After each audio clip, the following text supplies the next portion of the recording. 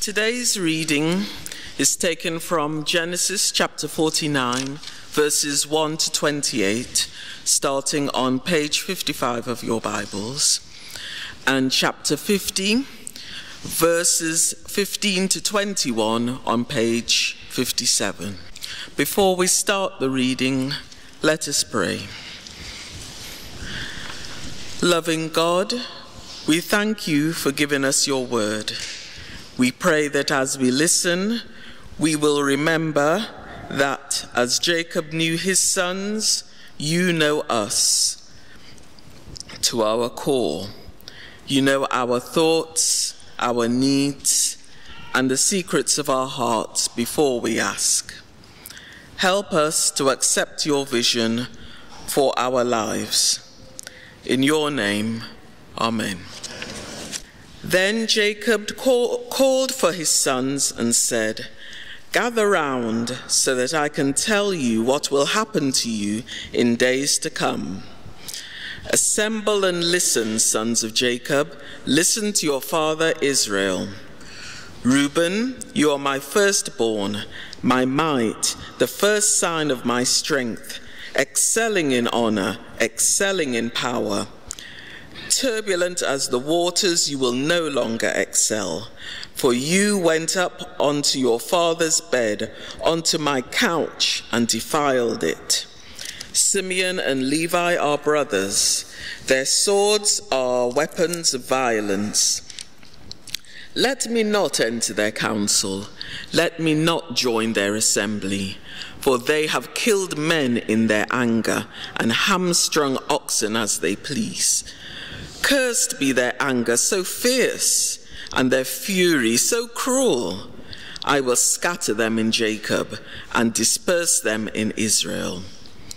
Judah, your brothers will praise you. Your hand will be on the neck of your enemies. Your father's sons will bow down to you. You are a lion's cub, Judah. You return, excuse me, you return from the prey, my son. Like a lion, he crouches and lies down like a lioness. Who dares to rouse him? The scepter will not depart from Judah, nor the ruler's staff from between his feet, until he to whom it belongs shall come, and the obedience of the nations shall be his. He will tether his donkey to a vine, his colt to the choicest branch. He will wash his garments in wine, his robes in the blood of grapes.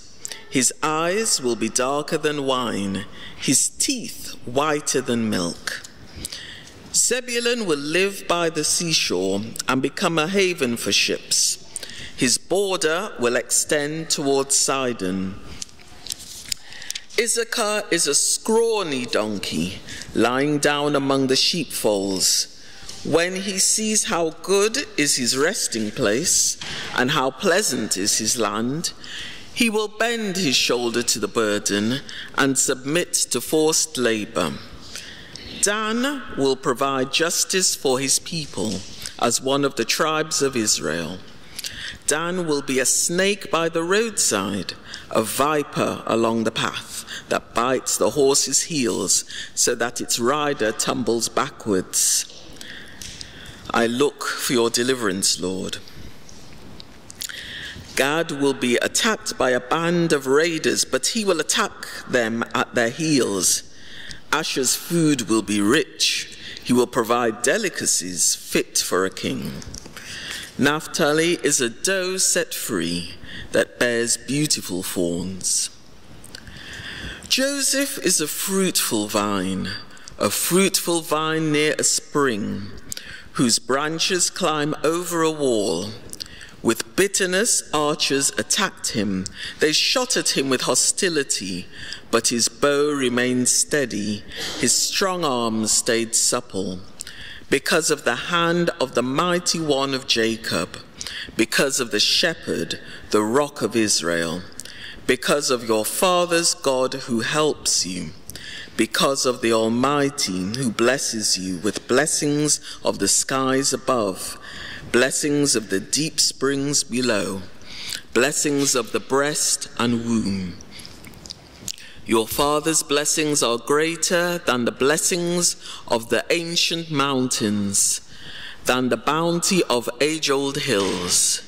Let all these rest on the head of Joseph, on the brow of the prince among his brothers. Benjamin is a ravenous wolf.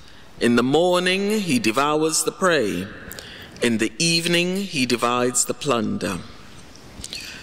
All these are the twelve tribes of Israel, and this is what their father said to them when he blessed them, giving each the blessing appropriate to him. When Joseph's brothers saw that their father was dead, they said, What if Joseph holds a grudge against us and pays us back for all the wrongs we did to him? So they sent word to Joseph, saying, your father left these instructions before he died. This is what you are to say to Joseph I ask you to forgive your brothers the sins and the wrongs they committed in treating you so badly. Now, please forgive the sins of the servants of the God of your father. When their message came to him, Joseph wept. His brothers then came and threw themselves down before him. We are your slaves, they said. But Joseph said to them, Don't be afraid. Am I in the place of God? You intended to harm me, but God intended it for good to accomplish what is now being done, the saving of many lives. So then, don't be afraid. I will provide for you and your children. And he reassured them and spoke kindly to them. This is the word of the Lord. Hello, good morning, everybody. It's very good to be together. Thank you, Lisa, for reading for us. And so here we are, gathered together to worship our King, the Lord Jesus. But what kind of king do we want? What kind of king is Jesus? Do we want a, a powerful, uh, fierce, uh, incredible warrior king ready to fight for his people, ready to conquer sin and death? Or would we rather have a kind, gentle, generous friend, even a brother, welcoming, someone who accepts his sinful siblings, someone who promises good for them. And that's a, a, difficult choice, isn't it? Because a fierce warrior who fights your enemies is a wonderful thing. But that can be horrific if a fierce warrior turns on his own people. In the same way, gentleness and generosity, precisely what we want in a dear brother, but maybe not so much in a military commander. So, what kind of king is Jesus? And what does the Joseph Judah story tell us about him? This is the last part of Genesis that we're reading, and the last part of the Joseph Judah story, which is all about how God redeems Judah, this uh, human trafficking, slave trading, adulterous, hypocritical monster redeemed. And also about how God exalts Joseph, uh, the, the hated brother, the imprisoned slave. And he becomes the king of a global superpower. And as we're at the, the end of this story, we're reaching the end of this generation, and we're starting to think about the future. What will God's promised blessing to Abraham do after this? And part of that blessing to Abraham is that his family will be a royal family. God told him that kings would come from him. And so the question continues to be how is that going to work? What's God's king going to be like? In other words, what does this story tell us about Jesus? And so the first of two ideas. Jesus is Judah's physical descendant. Judah's physical descendant. This is chapter 49, uh, Jacob's blessings over his sons. Jacob's over 130 years old by now, and he calls his sons together to pass God's blessing on to them. Did you notice when it was being read that Joseph and Judah both get lots more words said to them about them than any of the other brothers? Some of them got only a single sentence. But Joseph and Judah, they get long blessings for them and for their families, which makes a lot of sense because this whole section has been about these two brothers, Joseph and Judah, about God's work in their lives. So, what do we learn? What do we learn from Jacob's blessing over Judah? On page 55, verse 8 onwards, Judah, his family will be the royal family over God's nation. In verse 10, it says that the scepter will not depart from Judah, nor the ruler's staff from between his feet. The king forever, the royal family forever. But what kind of king? What kind of royal family? Well, in verse 9, there it says that he will be a fierce, powerful lion, an incredible warrior, the conquering king. There's a reason why it is the, the Lion King and not the Meerkat King. Fierce and conquering, strong and powerful. That's what Jacob says, what God says his king will be like. And if the image of a, a fierce, powerful king puts you off, as it may well do, let's remember what Judah is like. Let's remember his story. He was a monster at the start of this story. He was the brother who said to sell Joseph into slavery. He was a monster, but he's proved himself fit to be a king. Do you remember a few weeks ago in chapter 44 when he said he would rather sell himself into slavery than see his youngest brother taken away from their doting father. The powerful king, the lion, yes, but he uses his power for the good of the weakest and the most vulnerable. He puts himself into his brother's place to rescue him. And doesn't this remind us of Jesus? Doesn't this speak to us of how Jesus, the true lion of Judah, the fierce warrior of God, he uses his power and his ferocity to conquer death, to ransom us out of slavery to sin, to defeat the power of the grave, to free us from the power of fear.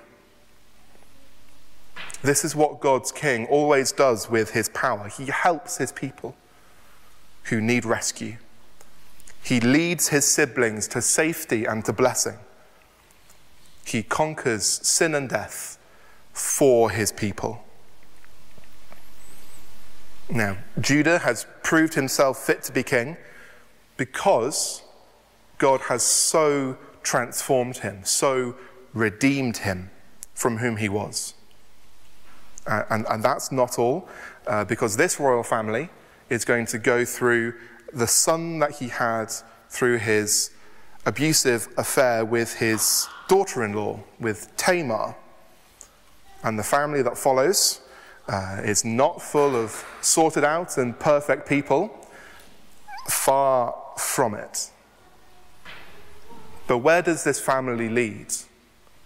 But to Jesus. So Jesus' family, Jesus' ancestors are not perfect. They're not good. They're not even morally neutral. This family tree is full of people like Judah, people like David and Solomon and, and many others. To put it plainly, Jesus' family is full of sinners, people like you and me. So he chose to be born into this family. He chooses to love messed up and sinful people. and he redeems and transforms his family, just as he did with Judah. That's what he does with us, his adopted siblings who come to him by faith.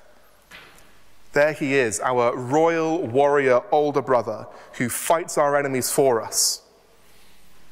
Jesus is Judah's physical descendant, the lion, the conquering king over sin and death. That is who Jesus is. Our first idea Jesus is Judah's physical descendant, the powerful lion. Secondly, Jesus is Joseph's spiritual descendant. This is from the other passage we heard read on page 57, chapter 50. And this is from verse 15. Now, uh, just before this, Jacob, uh, the brother's father, he had, he had died, which is momentous. This is the end of a generation, a significant moment in the story of the Bible. But for these 12 brothers, this is their dad. And if you've lost a parent, then you might know how that can bring up all sorts of old memories and bad blood. And that's exactly what Judah's, Joseph's brothers are afraid of. Look with me to verse 15. The brothers ask themselves, What if Joseph holds a grudge against us and pays us back for all the wrongs we did to him? Now that dad's dead, what if Joseph's only been kind and generous to us out of fear and respect for dad? After all, he's the king of this superpower. He's this incredible, fierce king. He could do anything to us. So they go to him and say in verse 16, Your father left these instructions before he died. This is what you are to say to Joseph I ask you to forgive your brothers the sins and the wrongs they committed in treating you so badly. Now, please forgive the sins of the servants of the God of your father. And we don't know if Jacob did say anything like that. And I, I, do wonder if this is the brothers up to their old tricks, trying to pull a fast one. And it wouldn't be the first time. But what happens next? What Joseph does now is so wonderfully helpful for us in knowing what Jesus is like. After all, isn't this what we do when we confess our sins to Him? We, the adopted siblings, coming to our King, the older brother, the one we abused and rejected, the one we thought was dead but now has been raised to life. That's raised to the highest place, that at the mention of His name, every knee should bow. We come to Him humble and lowly, knowing our weakness and our frailty our past sins weighing us down, robbing us of joy and peace. So, what does Joseph do? Think of his power, think of his authority, think of his righteousness and justice. He could do anything he wanted to them, and no one will be able to stop him.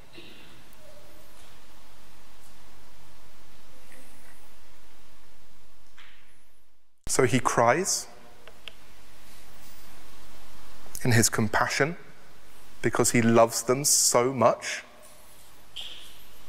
And when they throw themselves at his feet and call themselves his slaves, well, he says this in verse 19 Don't be afraid. Am I in the place of God? You intended to harm me, but God intended it for good to accomplish what's now being done, the, the saving of many lives. So then, don't be afraid. I will provide for you and your children. Joseph had over half of his life to think about what to say to his brothers. And if Joseph is as human as you and me, then I bet he rehearsed this scene in his head all the time. What we just read are prepared, thoughtful, considered words, compassionate words, forgiving and reassuring. And verse 20 there is famous. Many of us will have thought on these words before. God's sovereignty, the way that he can use human evil for his own divine good purposes. That is why Joseph can forgive, because of God's sovereignty. He almost goes as far as implying that his brothers weren't responsible for the evil they did because of God's plan. He almost does, but he doesn't quite go that far. But Joseph is so confident in God's power over all things that he can totally forgive his brothers, even after all these years, for everything they did. And isn't this so like our Lord Jesus? Our sinful attitudes wanted Jesus dead, just as Joseph's brothers wanted him dead, but God has turned that darkness into light, raising Jesus from the dead, just as he raised Joseph from slavery and imprisonment. Joseph could forgive his brothers because God, in his almighty love, redeemed their evil in his sovereignty. Jesus can forgive us, his adopted siblings, because God has redeemed our evil in his sovereignty. And so, the cross of Jesus, it does tell us about our evil, but it speaks a whole lot more loudly of God's forgiveness. And what is that forgiveness like? Well, what does Joseph say in verse 21? I will provide for you and your children. Now, compare that to what we can so easily call forgiveness in our world. Uh, forgiveness, normally um, a kind of abandoning grudges and letting go of resentment, uh, choosing to move on in life, but only really to a place of neutral civility. That's normally how I think of human forgiveness. Uh, people have hurt me, and I've hurt them, but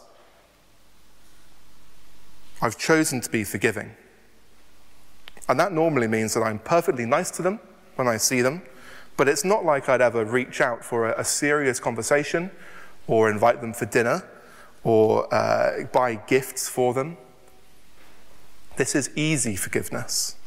It says that I'm willing to move on, I'm willing to let go of the past, but not so much that I'll be vulnerable for you again. You don't get to be in a place where you can hurt me anymore. Fool me once, shame on you. Fool me twice, shame on me.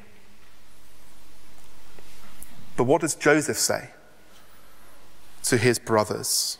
I'll provide for you and for your children. Everything I have is yours. Come into my house, enjoy my things. Come and live in the king's palace with me. I will give you everything you could possibly need or want. Don't be afraid. I'll provide for you and your children. You're still family. I still love you. I'll still give you honor and love despite the shame and hatred that you've given to me, despite everything. Because God is good. And over a thousand years later, another king in Judah's family, the final king, Jesus, well, he says the same thing to us. Not just forgiveness, but abandoning revenge. And not just abandoning revenge, but making peace. And not just making peace, but promising to provide for his family. Because Jesus is kind and not just kind, but good, and not just good, but merciful. He doesn't hold us at arm's length, He welcomes us and loves us because Jesus is Joseph's spiritual descendant, the Lamb, the one who forgives his sinful brothers because of God's goodness and sovereignty. That's who Jesus is. And so, Jesus is Judah's uh, physical descendant and he's Joseph's spiritual descendant, the lion and the lamb. If you like, he's half Judah and half Joseph. The king of God's people, the conqueror, our redeemer, the one who saves us from sin and death. The gentle, compassionate older brother who forgives our sins, the one who saves us from guilt and shame. That's who Jesus is half Judah and half Joseph. He is very wonderful. And all of that means that all of us can come to Jesus. There's room for all of us in Jesus. He brings together both Judah's story and Joseph's story. So Jesus can redeem and transform sinners, just as he did with Judah. He doesn't forgive us to, to hold us at arm's length. He transforms us and welcomes us and adores us and provides for us and gives us everything he possibly can. He has conquered sin and death for us. And so being forgiven by Jesus isn't static, it's the start of a journey of redemption and transformation and growth. He makes us fit to be his siblings, to be part of his royal family, to be adopted co inheritors of his eternal kingdom. He is glorious. And so Jesus is also the exalted victim of unjust suffering, just as Joseph was. And so, as victims of suffering, we can come to him as well. We can come to him knowing that he knows what it's like. He, we know that he cares. We know that he understands how it feels. So we can live with confidence, knowing that just as Joseph and Jesus were vindicated and exalted, so will we be, despite how our lives may currently look. But also, and this is more difficult, we can learn to forgive. We can pray for the strength and confidence to forgive, just as Joseph did and Jesus does. We can learn to move beyond a worldly forgiveness to a much more wonderful divine one, learning how to forgive the people in our lives who have hurt us. Just like how Joseph was with his brothers, so Jesus is with us, kind and gentle, so compassionate and lovely. He is glorious. Jesus is half Judah and half Joseph, our victorious king, our forgiving brother, the lion and the lamb. And so he is ready for all of us to come to him, sinners and sufferers together, because that's what kind of king he is. He's not ashamed of us, he loves us. He calls us his siblings, and he wants us to enjoy him. He is very good. So, shall we pray to our Father in his name together? Dear Father, Almighty God, we thank you for your goodness. We thank you for your redeeming, transforming power. Thank you for the incredible gentleness that you show to us. Thank you that you don't abandon us, but you forgive and transform us to be your people. Thank you that you've called us your own Thank you that you've made us siblings with Jesus, adopting us as your children. We're, you're so good to us, Heavenly Father. Amen.